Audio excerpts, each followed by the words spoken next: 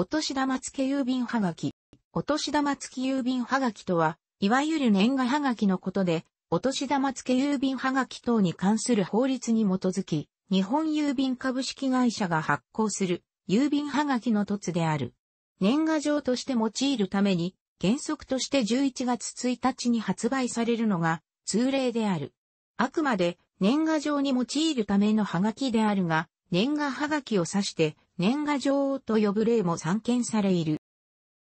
発売初年度は1949年で、同年12月1日の発売であった。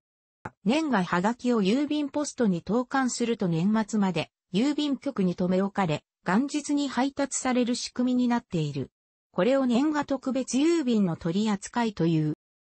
年賀はがきではない通常の郵便はがきや封書でも、切手部分のもとに年賀と手書きすれば同様に扱われる。逆に、年賀はがきを年賀状とせず通常の郵便はがきとして扱う場合は、年賀の表示を×などで消し、年賀郵便として扱わないよう明示しなければならない。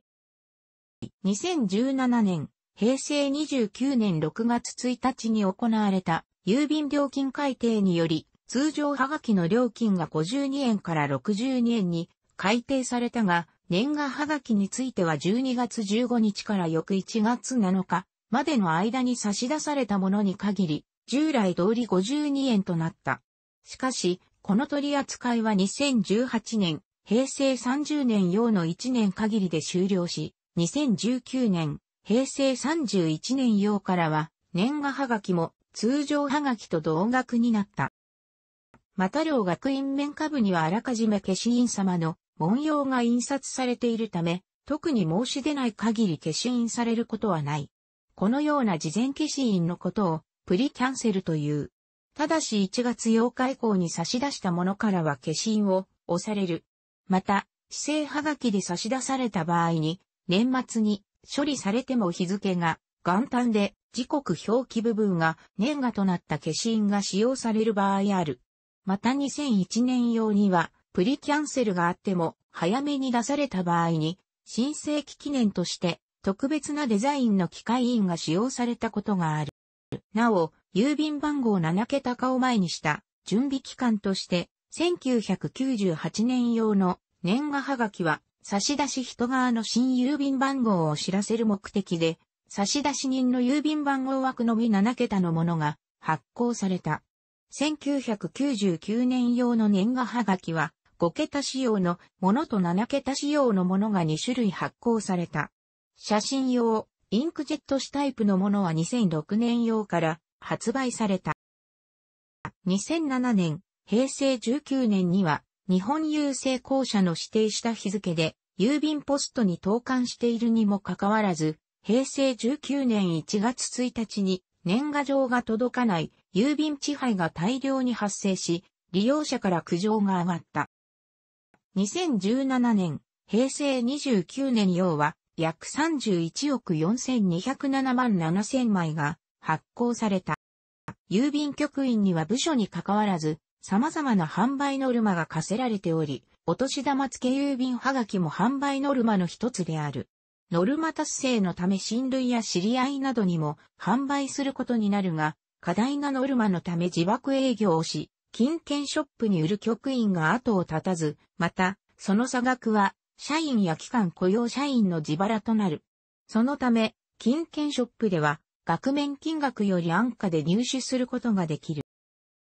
付加金付きのものと、付加金が付かないものとの2種類がある。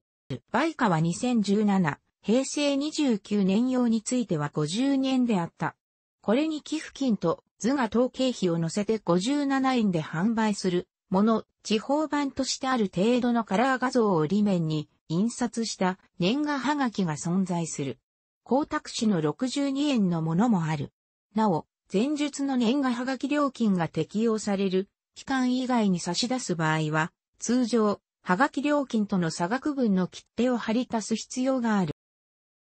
広告付きのものは2013年の年末、発売分までは45円で販売されていた。さらに、郵政民営化後初となる2008年用では、カーボンオフセットという地球温暖化防止はがきが加わったが、2012年用の発行をもって中断している。2009年用では、彩り年が、うぐいす、桃として両面に色がついたものが加わった。2011年用では一部の郵便局で、香り付き年賀状も10枚700円で販売された。年賀はがき、また年賀切手には、お年玉くじがついており、毎年1月に抽選がある。当選した番号のついたはがきを持っている場合は、郵便局に持参すれば切手シートについては、窓口で即日交付してもらえる。1等や2等の商品は後日郵送となる。また、当選はがきについては無効、交付済みであることを示す消印が、右下の番号の上に押される。なお、郵便局によっては、法令での根拠はないが、引き換え時に運転免許証等本人確認ができる未証明書が必要となる場合もある。かつては、郵便局員が、その当選番号が印刷されていた部分をハサミなどで切り落としていた。だが、通信面、裏面のその部分に相手の連絡先が書かれていればわからなくなることもあり、また局員も切り落とす手間がかかるなど、全体的に不評だったため1990年より、現在の消印方式になった。現在、1等2等については、複数の景品の中から好きなもの一つを選択できるようになっている。このため、年賀はがきの盗難事件や配達アルバイトが配達をせずに持ち帰るような事件が稀に聞こ。また松等は一貫してお年玉切手シートで、その切手の絵柄は基本的に当概念の年賀郵便切手と同一であったが、2017年以降はこれとは別のデザインとなった。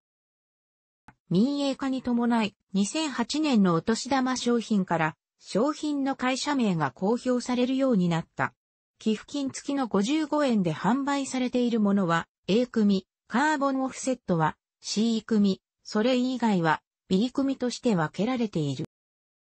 1980年代半ば頃までは寄付金付きの A 組のみ、有効の当選番号があった1枚あたりの売価が1から5円割高のためが、現在は廃止された。2008年より C 組のみ、有効の当選番号ができたが、現在はそれ自体が廃止されている。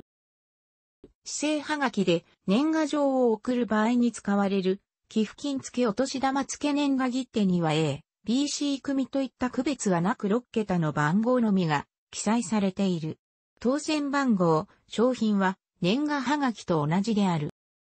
お年玉付郵便はがき等に関する法律1条2項により、商品の金額は郵便料金の5000倍、2018年12月現在では31万円が上限である。また同法4条により、当たりくじの時効は6ヶ月である。2020年は以下の通り、2020年用お年玉切手シートは、福の字と樹の字をモチーフにしたデザインで、抽選日翌日から郵便局のネットショッピングでも手に入れることができる。なお12市がモチーフのものは年賀郵便切手として年賀はがきと同時に発行。加えて2020年は東京五輪の開催年であることから上記のもののに加え同五輪の開会式または閉会式のペアチケットや競技観戦ペアチケットが特別の商品となる。なお、対象の年賀はがきは、前者が東京2020大会、寄付金付年賀はがき、後者がそれを含む B 組の年賀はがきに限定される。お年玉くじのついた年賀専用はがきのアイデアは一民間人が考案したもので、当時の郵政大臣などに何度も直談判して採用してもらったものだという。1949年、当時京都在住で大阪にて、用品雑貨の会社を営む林正春、1909年から1990年3月20日が終戦直後で通信手段が十分でなかったこの時代にせめて年賀状が復活すれば差出人、受け取り人ともに消息が分かり合えるであろうと考えついたのがきっかけである。この年賀状にお年玉くじをつければ皆が買ってくれるさらに寄付金もつければ社会福祉にも役立つと考え坂の郵便局で郵政大臣への紹介状を書いてもらい、上京して郵政大臣などと面会した。林は自前で見本となるハガキや宣伝用ポスターを作成し、さらには具体的に景品まで考えてプレゼンを行ったという。だが、前例のないものであり、戦後の混乱期でもあったので、時期肖像とあり却下された。それでも林は諦めず粘り強く交渉を続けた。結果、同年暮れに正式に採用された。この頃の商品は、特等、ミシン、一等、純毛用、福寺、二等、学童用グラブだったという。お年玉付郵便はがきは現在まで続く大ロングセラーとなったことで、大いに感謝された林は、その後郵政審議会の専門委員を務めた。この成功を受けて、1950年、昭和25年から発行されていた、初中見舞い用郵便はがきを1986年、昭和61年より9日月年、夏のお便り郵便はがき、初中、残暑見舞いはがき、カモメルとして販売開始。さらに1987年、昭和62年には、春の絵柄付け郵便はがき、桜メール、2月発売、秋の絵柄付け郵便はがき、もみじメール、8月発売も登場したが、いずれもくじはなし、桜メール、もみじメールは2002年、平成14年をもって販売を終了している。楽しくご覧になりましたら、購読と良いです。クリックしてください。